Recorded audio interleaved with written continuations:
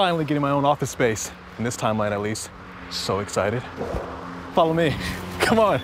Time's a wasted, man. Come on. Oh, cool. Is that for talent? No, you can use my stapler whenever. Ripp Blazer, time traveling pizza delivery guy. Your new office neighbor. Oh, cool. I'm new too. Are you like a producer or something? Sure, I produce all sorts of stuff. Oh. Time dilator. Keeps me from butterfly affecting out of existence if I meet my own grandpa. Wow. What show do you work for? Pizza Hut. Probably the hardest thing about meeting my new coworkers is explaining to them I'm not just a delivery guy. I'm from the future. I've come back to protect the world from the impending pizza apocalypse. But no one's listening. No one's taking it seriously. In a world without pizza, that's some serious stuff.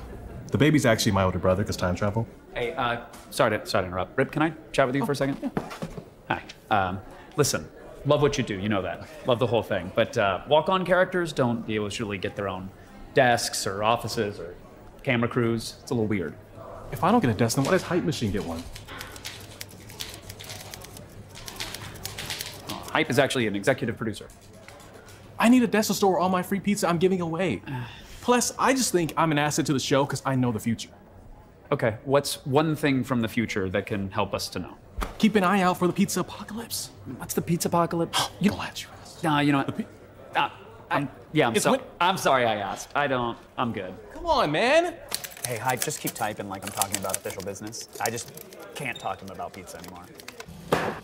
The nice thing about being from the future is that I don't need a big fancy desk to feel important. Like, I literally know the exact time and date over everyone in this office's death. I'd like to know how much time I have left. My man Brian agreed to move down here with me. I'm actually a mole person from the center of the Earth, so I kind of like it here. G4 exclusively hires dudes with complicated backstories.